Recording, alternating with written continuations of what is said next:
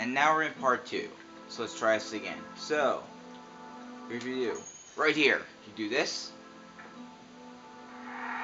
And now we're now precisely, and we're trying the bishop and the bishop.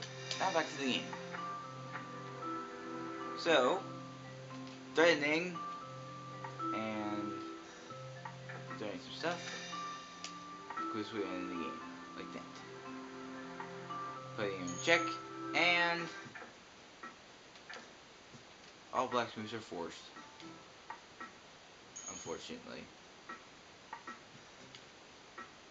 Yes, unfortunately, it's how you're supposed to do it.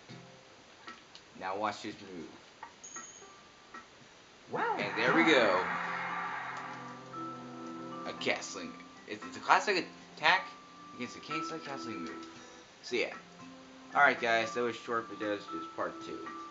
It was late, but hey, it's been two years since we've done that. It was in the first video we ever done, and part two happens later that day.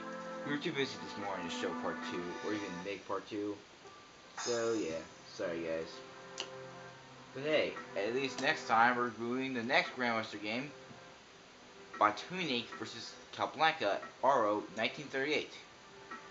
So yeah,